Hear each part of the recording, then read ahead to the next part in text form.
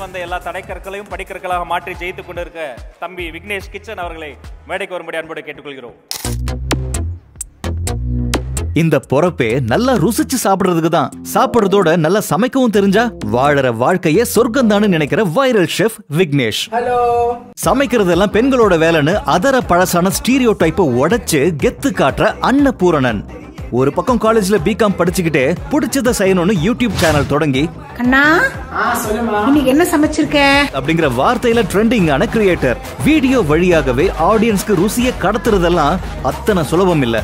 விக்னேஷ் இன்றைய இளைஞர்களுக்கு முன் உதாரணம். இவரை கௌரவிப்பதில் பெருமை கொள்கிறது கின் ஆப்